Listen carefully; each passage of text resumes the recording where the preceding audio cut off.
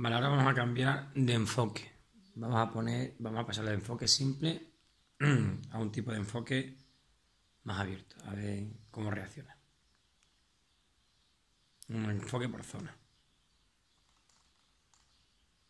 aquí lo que pasa es que enfoca lo que esté más cercano, claro.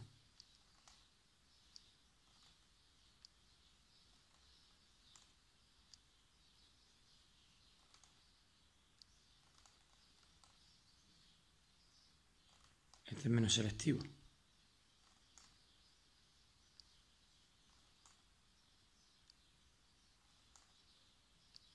También enfoca.